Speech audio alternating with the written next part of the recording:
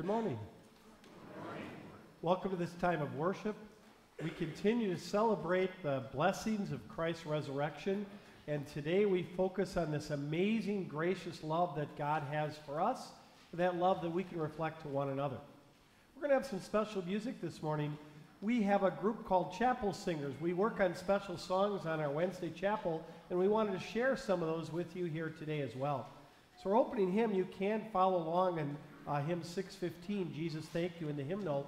But notice that the song leaders will sing verse 1, congregation will join in verse 2, and our students are going to sing verse 3 in Spanish as we join in the refrain.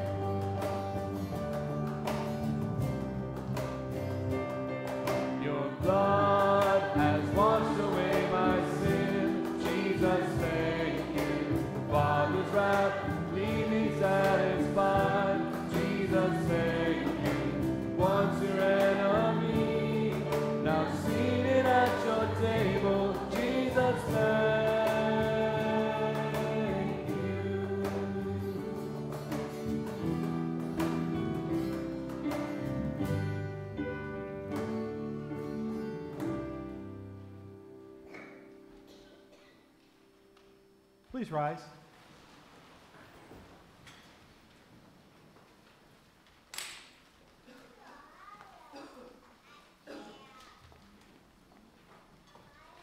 We worship in the name of the Father, and of the Son, and of the Holy Spirit. Amen. Christ is risen. He is risen indeed. Alleluia. Dear friends, let us approach God of the true heart and confess our sins, asking Him in the name of our Lord Jesus Christ to forgive us. Lord of life, I confess that I am by nature dead in sin, for faithless worrying and selfish pride for sins of habit and sins of choice, for the evil I have done and the good I have failed to do, you should cast me away from your presence forever. O Lord, I am sorry for my sins.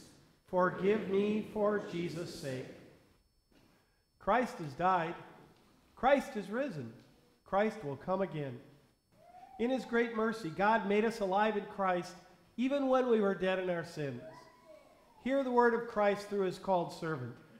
I forgive you all your sins in the name of the Father, and of the Son, and of the Holy Spirit. Amen. Please be seated as we sing Glory to God in the highest.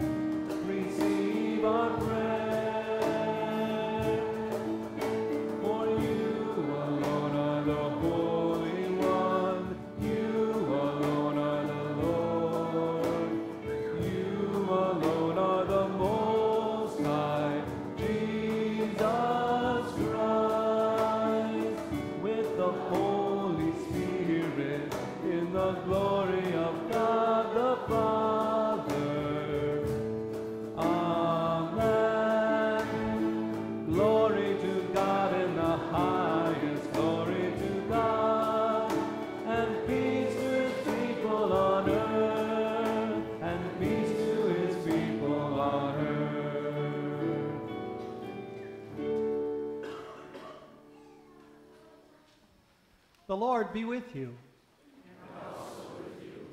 Let us pray. O God, you are the giver of everything good. Inspire us, your humble servants, to long for what is right, and through your gracious guidance, accomplish it to your glory.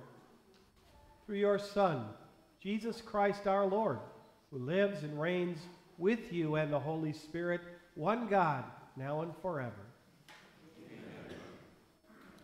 Our first lesson is taken from the book of Acts, chapter 9. The apostles are sharing the good news and the power of Jesus' resurrection, and using that power, Peter is able to raise Tabitha from the dead. In Joppa, there was a disciple named Tabitha. In Greek, her name is Dorcas. She was always doing good and helping the poor. About that time, she became sick and died and her body was washed and placed in an upstairs room. Lydda was near Joppa. So when the disciples heard that Peter was in Lydda, they sent two men to him and urged him, Please come at once. Peter went with them, and when he arrived, he was taken upstairs to the room. All the widows stood around him, crying and showing him the robes and other clothing that Dorcas had made while she was still with them. Peter sent them all out of the room then he got down on his knees and prayed. Turning toward the dead woman, he said, Tabitha, get up. She opened her eyes, and seeing Peter, she sat up. He took her by the hand and helped her to her feet. Then he called for the believers, especially the widows, and presented her to them alive. This became known over Joppa, and many people believed in the Lord. The word of our Lord. Today we sing a song version of Psalm 89 as printed.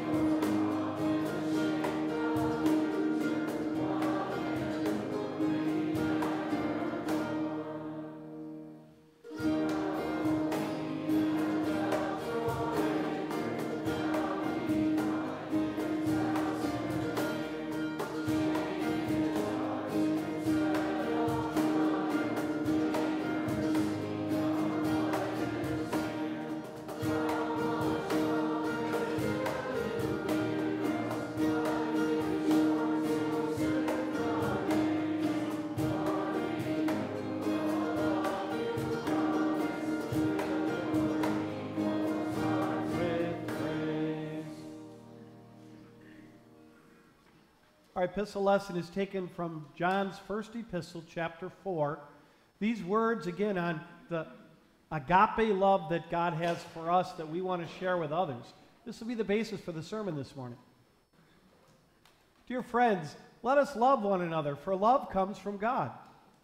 Everyone who loves has been born of God and knows God. Whoever does not love does not know God, because God is love. This is how God showed his love among us. He sent his one and only Son into the world that we might live through him. This is love. Not that we loved God, but that he loved us and sent his Son as an atoning sacrifice for our sins. Dear friends, since God so loved us, we also ought to love one another. We love because he first loved us. Whoever claims to love God yet hates a brother or sister is a liar. For whoever does not love their brother and sister whom they have seen cannot love God whom they have not seen. He has given us this command anyone who loves God must also love their brother and sister. The word of the Lord. Please rise. Our gospel acclamation is taken from the great resurrection chapter, or the great chapter on love, 1 Corinthians 13. Alleluia, alleluia. And now these three remain faith, hope, and love. But the greatest of these is love. Alleluia. Our gospel reading, we hear the words of Jesus in John chapter 15. As the Father has loved me, so have I loved you. Now remain in my love. If you keep my commands, you will remain in my love, just as I kept my Father's commands and remain in his love. I have told you this so that my joy may be in you and that your joy may be complete. My command is this love each other as I have loved you. Greater love has no one than this to lay down one's life for his friends. You are my friends if you do what I command. I no longer call you servants because a servant does not know his master's business. Instead, I have called you friends. For everything that I learned from my Father, I have made known to you. You did not choose me, but I chose you and appointed you so that you might go and bear fruit, fruit that will last, and so that whatever you ask in my name, the Father will give you. This is my command love each other. The gospel of our Lord. Please be seated. We're singing our hymn of the day, This is My Father's Will. And during verse 3, the children can come sit on the carpet squares for our children's message.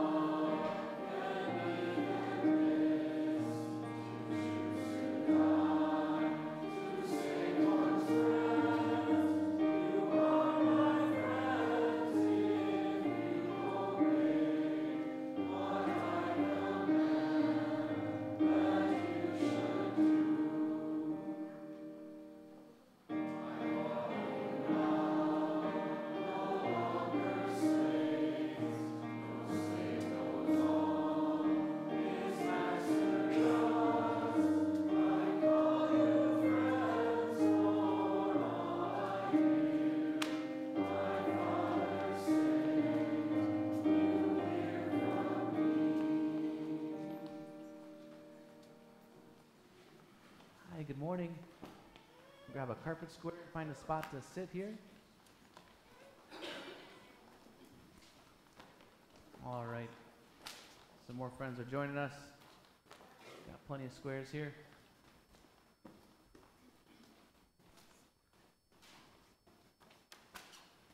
All right, today I want to talk about the word love. You guys probably hear that word quite a bit, don't you? Maybe you hear it from your mommy and daddies. I hope every day, right? I love you. Maybe right before you go to bed, you say, I love you, mommy, or I love you, daddy, and they say, We love you. We probably hear that word love quite a bit. Do you ever think about what that word means? Anybody want to try and tell me what that word means? Yeah. Jesus. Okay. that, that's a great answer. In fact, that's really that's the I'm going to talk about in the sermon. God is love. So that's A plus answer. Um, but how would you, if someone said, "What does love mean?" How would you try to explain it to them?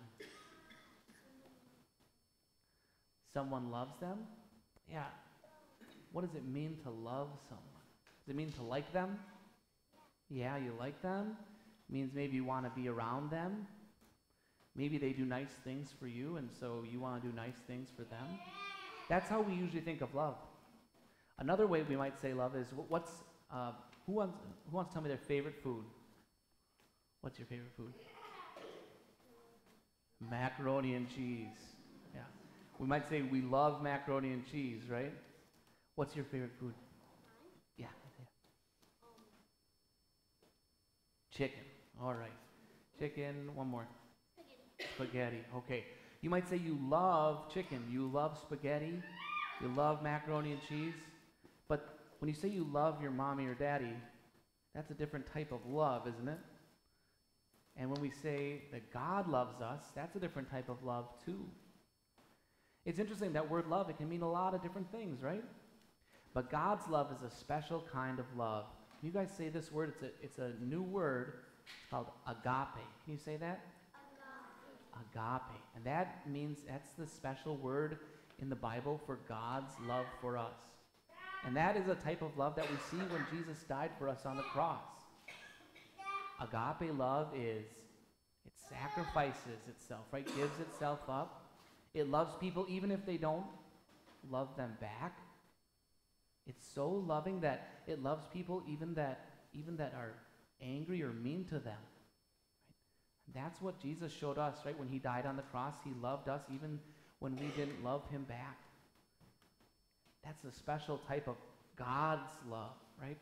So I want to teach you a special, a little rhyme to help you remember this, right? So you spell agape A G A P E. You say that? A G A P E. Get your hands up to clap. A G A P E.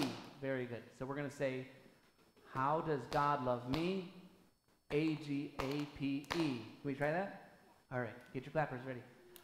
How does God love me? A G A P E.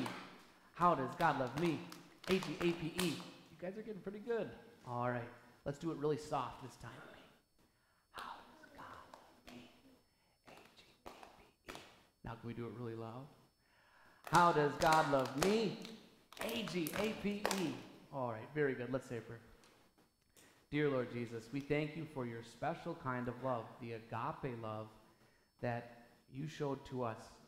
Thank you for loving us and showing us what real love is when you died for us on the cross, when you promised to be with us forever and take us to heaven. Let all God's children say, Amen. Thank you for coming up today. We'll sing our final verses.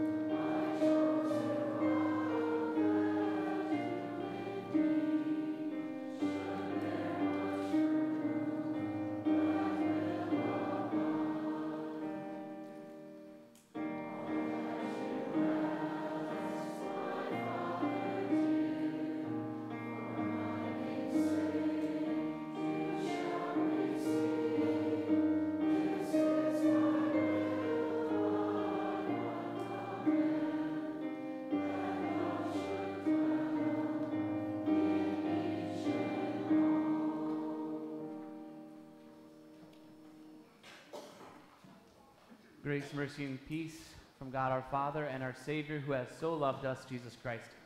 Our sermon is based on 1 John chapter 4. I'm really going to focus on uh, verses 4 through 11. Let's begin with prayer. Dear Lord Jesus, only you can show us what true love is. Thank you for the love that we share together as your people and for the love that you give to us in your word. Amen. Taylor Swift's latest album uh, surpassed 1 million, excuse me, 1 billion Spotify streams in a single week. She became the first artist to hold the top 14 spots on the Billboard's top 100 hits. Her music is listened to by millions of people every second. She was Spotify's most popular artist um, listened to in 2023, and she's on her way, well on her way in 2024 to reclaim that title. Needless to say, with her new album and with the however many in the past, her music and, and her, her lyrics have shaped the way a lot of people think, a lot of way, a lot of the way that young people consider the world and think about what's hip or what's cool and what's not. I want you to take a, a, look at some of the lyrics from that new album with me. This is from her song called Daddy, I Love Him. She says, I just learned these people only raise you to cage you. Hannah's and Sarah's in their Sunday best, clutching, at, clutching their pearls, sighing, What a mess. Sorry to all the Hannah's and Sarah's out here today. Uh, she says, I just learned these people try to save you, because they hate you. I'll tell you something right now you ain't got to pray for me, uh, me and my wild boy and all of this wild joy. It's my choice. Screaming, but daddy, I love him. I could talk about some of the sort of shots at Christianity taken here, but ultimately, if you look at the message, it's really about her love being most important. Ultimately, you can't, you can't speak against love, right? You can't argue with love, right? If she loves him, then anything you do to try and turn her off that path is wrong and, and bigoted and narrow minded. Love is what's most important. Here's, a, here's some more from a different song called Guilty as Sin, which is a bit provocative. What if I roll the stone away? They're going to crucify me anyway. What if the way you hold me is actually what's holy? If long suffering propri- propriety, that's like conformance to a, a standard, is what they want from me, they don't know how you've haunted me so stunningly. I choose you and me religiously. Again, the, the Christian overtones kind of catch our attention, don't they? But she uses it to really kind of pull in a reverse truth. She says, she brings up kind of Christian truths, but then she says, what's really holy is my, my relationship with this man. What's really worthy of worship is, is my love. That's, that's kind of this, if I could sum up the message of these songs in general, it'd be that love is God. Love is God. That's the refrain that's really pumped into our ears from almost every uh, popular song these days, isn't it? Love can't be wrong. Love is what we must listen to above all else. You can't argue because love is God. It's not just the refrain of pop songs, it's the refrain of our society. And now, my point today is not to say that you can't be a Christian and listen to Taylor Swift. I could have probably made the point from almost any popular artist. She's just by far the most popular right now. My point is that I think we've grown numb to how often we hear this message love is God. And I think that we forget how dangerous this message is, and to an extent, how much we've probably swallowed it how much it affects our life, how we choose to act, how we think about God and His Word, and yes, how we worship our Lord. That's why we come to God's house, isn't it? We come here to, to realign ourselves with what is, is true. We come here to hear about who God really is from His own mouth. We come here to hear about what love really is. And we come here today and we look in the scriptures and we find that while love is not God, God is love. That's what the Apostle John talks about in his first epistle in chapter 4. He writes this Dear friends, let us love one another, for love comes from God. Love cannot be God because love comes from God. It is God who establishes and defines love, not the other way around. And that means that the love which is spoken of here is very specific. It is that word in Greek, agape, that special love of God, that sacrificial love, that active love of God, that selfless love of God that can only come from God. This is not a human kind of love. This is not a, a, feeling of affection. This is something that is unearthly. It has its origin in God Himself and it is a fruit of the Holy Spirit that, by faith, has been planted into your heart. Think about that. Through faith, you have the capacity to love in an uncommon way. God has given you, by the Holy Spirit, the ability to love as He has loved.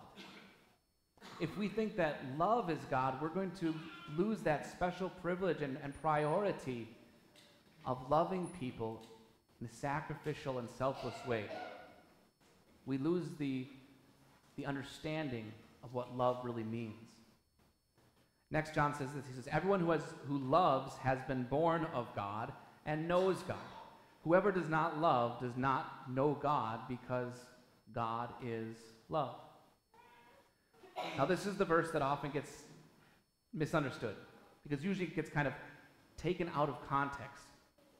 John is not saying that anybody who's ever loved someone knows what God's really about. Anybody who has this sort of strong feeling of affection is somehow connected to the divine. That's, that's not what he's saying. When he talks about being born of God or knowing God, these are, are words talking about having faith in Christ. We could say, John would say, everyone who loves has faith in Jesus. And whoever does not love does, does not know Jesus. This agape love is demonstrated by those who have been changed inwardly by the power of the Holy Spirit. And in a very real sense, this love is an indispensable sign of having faith in Jesus Christ. John draws a sharp line. He says, not only those who, who don't know Jesus cannot love like this, but he says those who know Jesus love like this. It's who they are. They are going to love like their Heavenly Father will love. John says, Everyone who loves has true faith in God. Whoever does not love has no faith in God. And that brings us to his famous words because God is love. God is love. What does this mean? A good Lutheran question, right? What does it mean that God is love? Now, it, it means that God, in his very nature, is loving. Love is not merely something that God shows us, love is part of who God is. It is an essential attribute of our God. And so, any view of God that neglects love distorts who he is. Anybody who thinks of God as mean and spiteful and, and, and angry and, and horrid, that's not the God of the Bible. Any view of God that sees him as distant and far away and unconcerned, that's not the God revealed in Scripture because God is love. No action of God, no word spoken by God, nothing about God can be divorced from love because our God is love. But that's not usually the issue I come across most often. It's not usually that people don't think God is loving, it's that usually people think that God is only loving. And that this love is really theirs to define. It's after a service in Madison that um, all the congregation had, had gone out of the church. And after there was, there was one woman uh, waiting there for me. She wanted to talk. She was from a, a social organization and she wanted to ask about our church's stance on some sort of hot topics at the time. So we went to my office and we sat down. We had a pretty good conversation, about a half hour. But toward the end, I, I, I started showing her some, some Bible passages that, that you know, showed why, we, why our stance is what it was. And the conversation sort of started to break down. And then she, she brought up this verse from 1 John chapter 4. She said, Well, I don't know about that verse, she said, because isn't the, isn't the message of the Bible really all about love? God is love. How often don't we hear a sentiment like that? Or an idea pushed on this sort of foundation, right? That we should really kind of just paint with a broad brush. Well, you know, after all, God is love. All those details, all those words of Scripture, they're all subordinate to that. Because God is love, and I can define love. It really substitutes an equal sign. It says God equals love. And if it's a math equation, right, you could switch those around. God is love, and love is God. And you're back to the, the refrain of our society. Love is something that people would like to define on their own terms. And if God is love and God equals love, then, well, they can define God however they want as well. Do you see how insidious, how, how sneaky this is? And how, how much it, it, affects people? My friends, when this purposefully generalizes God's law, it does it in order to transgress God's law. It's like it hollows out the commands of God until they weigh less than human desire and human approval. It sort of smushes down the Bible into a small stone so they can step over it. I think that this is one of the, this is why this refrain is, is so dangerous today. The Apostle Paul in Romans, he says that they exchanged the glory of the immortal God for a lie. And they worshiped created things rather than the Creator. Isn't that what has happened with the idea of earthly love? We've exchanged the agape, holy, righteous, perfect love of God for a human idea of what love should be. And any time we exchange the glory of the true God with a lesser concept, whether that's one made out of wood and stone or one constructed by our own thinking or by our society, we are practicing idolatry.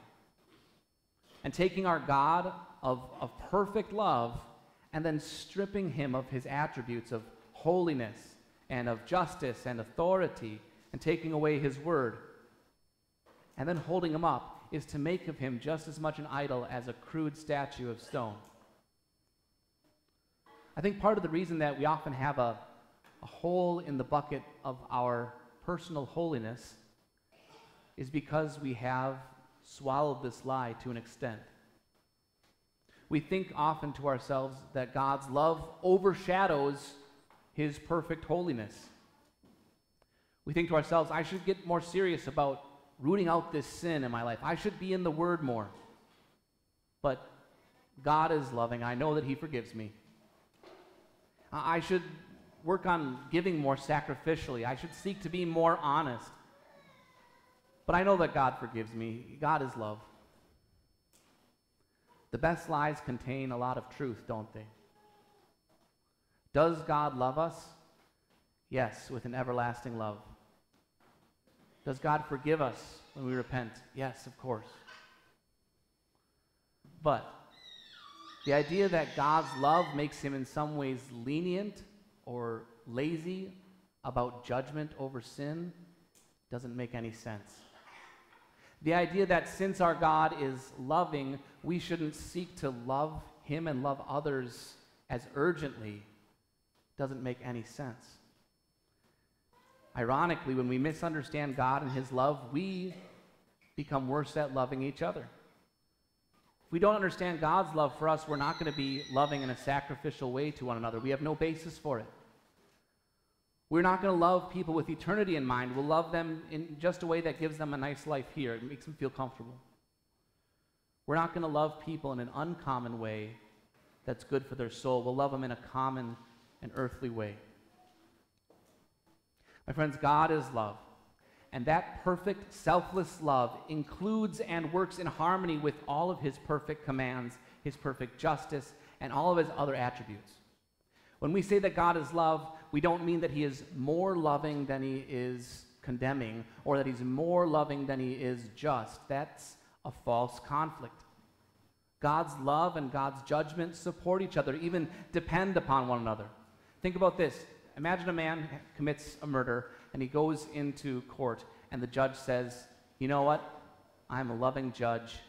You're free to go. If you were in the jury, would you feel like that was the loving thing to do? Would that be loving to the person who lost their life? To the family who now mourns a, a lost one? Would that be loving to the community who now is in fear because there's no punishment for those who commit wrong?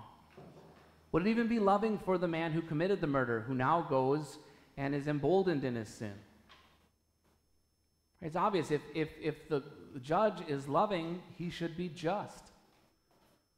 And the same thing is true with God. Right? If God is loving, he must be a just God who, who hates sin and wants to end all suffering. If God is just, he must stand by his commands. What did Jesus say? If you love me, keep my commandments. Remain in my love, he says. God is love and God is holy. There's nothing uh, wrong with those two things standing side by side and supporting each other. God is love and God is light and God is truth and God is life. God is all these things perfectly and fully and for you. Maturity in faith grows when we appreciate how the attributes of God work in harmony with one another not against one another. The more you understand about God's love, the more you're going to understand how just He is.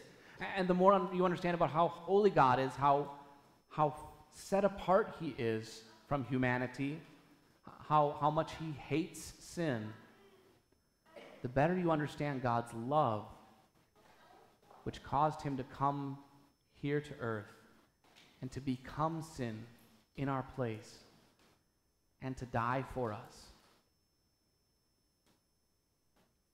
That's what John goes on to explain the, the incredible love of God. He says, This is how God showed his love among us. He sent his one and only Son into the world that we might live through him. This is love. Not that we love God, but that he loved us and sent his Son as an atoning sacrifice for our sins. We're so used to hearing these words that we forget how absurd it is. How crazy this love of God truly is. What father sacrifices his son? Fathers here today, can you comprehend that kind of love? And not just for good people who mean well, but for people who were by nature enemies of God. What kind of love is this? What immortal God, who is infinitely more valuable and infinitely more worthy than we are, would come and, and die for sinful human ants? If, if you go today and, and there's an ant crossing the road and you don't dive in front of a car to save that ant, no one's going to think you're loving. They're to they're to think you need help, right? They're to they're to say maybe we should maybe we should get you some help, you know? Um, that's not a loving thing to do. You're crazy. That's an ant. But the distance and the difference qualitatively between an ant and a human is nothing compared to the difference between the Almighty God and a human speck of dust. And yet, God was willing to send his Son to be the atoning sacrifice for our sins. This is love. Who could have guessed? Only God could love like this. It is beyond our comprehension. And only by the Holy Spirit's power, through the Word, can we grasp just a little bit how wide and how high and how long and how deep is the love of Christ. My friend, only God can define love like this, and only God would demonstrate love like this, and only God can empower you to love like He loves. How does God love me? A G A P E. Verse 11 Dear friends, since God has so loved us, we also ought to love, to agape one another. It's a good reminder that Christian faith is not about trying out a new set of habits. It's not about working on a few things and, you know, becoming a little bit better person. It's not about nice people getting a bit nicer or mean-spirited people mellowing out a bit. It's about a divine miracle. It's about the implantation of a new heart that beats with God's love. It's about something that is from God, that is above, that is now within you. Do you see the, the beauty here that, that you have the ability to love in an uncommon, unearthly way because of your Savior Jesus? You can love people like God has so loved you. And just as surely as a child's DNA can be traced back to their parents, so God's love has been written into your baptismal DNA. Don't worry so much about what this world thinks is normal or, or prudent when it comes to love. Don't worry so much about even that your love would be received as love. Jesus' love was all, often misunderstood and not appreciated for what it was. No, be willing to be uncommon. Love your family sacrificially. Love your church in an uncommon way. John says we ought to love, right? in other words, it is good and it is right for us to practice this love among each other in, in the Christian body of Christ, that, that our church might be a, a beautiful picture of God's love in action to one another and to the community. Sacrificial agape love is just what we do in this family, it's just who we are. John says, Dear friends, let us love one another, for love comes from God, because God is love. Amen. Please stand.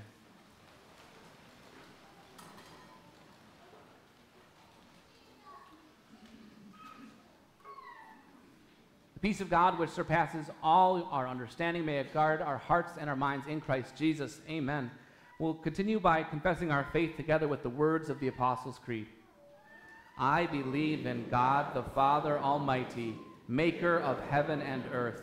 I believe in Jesus Christ, his only Son, our Lord, who was conceived by the Holy Spirit, born of the Virgin Mary, suffered under Pontius Pilate, was crucified, died, and was buried. He descended into hell.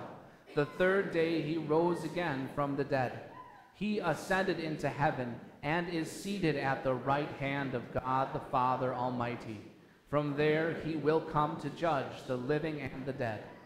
I believe in the Holy Spirit, the holy Christian church, the communion of saints, the forgiveness of sins, the resurrection of the body, and the life everlasting. Amen. Please be seated for the prayer of the church.